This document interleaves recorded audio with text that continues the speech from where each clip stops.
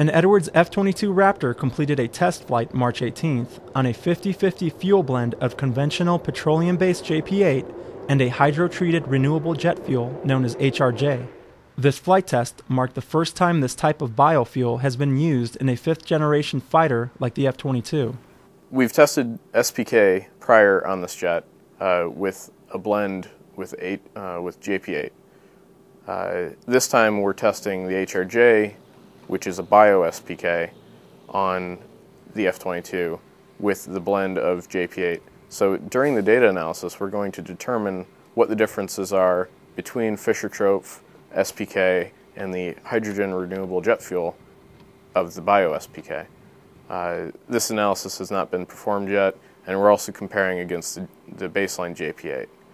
So we're going to compare the three different fuel types and see what the differences are. The flight was a capstone in a series of ground and flight test events conducted by the F 22 Combined Test Force using HRJ in the F 22. The overall test objective was to evaluate biofuel fuel blend suitability in the F 22 weapon system. The Raptor performed nearly an hour and a half of maneuvers that included supersonic and supercruise test points.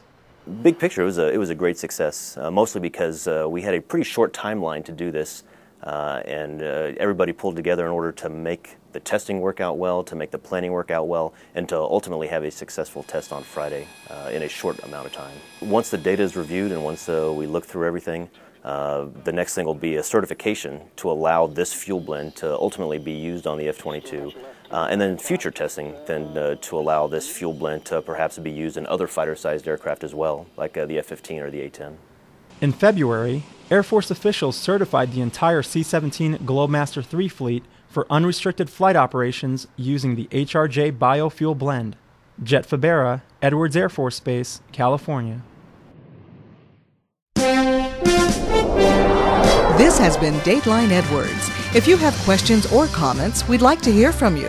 Please send us an email at channel.6 at edwards.af.mil.